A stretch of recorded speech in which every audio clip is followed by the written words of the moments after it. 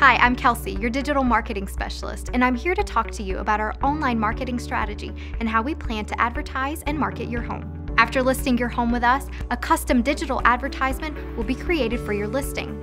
This ad will be shown thousands of times to home buyers surrounding your property. Your home will be shown on Facebook and Instagram, as well as major websites like the Wall Street Journal and the New York Times, on both desktops and in mobile apps. It will specifically target people looking at listings online, using online mortgage calculators, and researching moving companies. If someone sees your listing on our website, they'll also be followed around with your home's ad.